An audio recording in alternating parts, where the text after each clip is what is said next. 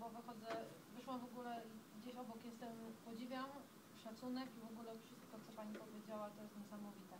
U mnie jest inaczej, może tak, e, córkę mam 15-letnią, 17 lat temu wyszłam za mąż, zaznaczam, bo chodzi o to, że dla mnie ważna jest odpowiedzialność podejmowana przez rodziców, czyli ślub po półtora roku urodzone dziecko, czyli nie mamy spadek, nie mamy, dla mnie to jest nie najmniej ważne.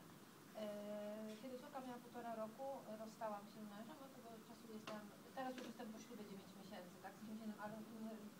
sprawa tutaj konkretnie alimentów, tak? Przez 13 ponad lat ojciec nie interesował się dzieckiem, mam, mam do maja tego roku miałam zasądzone 200 zł alimentów na 15-latkę, których nie otrzymywałam systematycznie. Czyli no, na tą chwilę mam ponad 48 lat zadłużenia.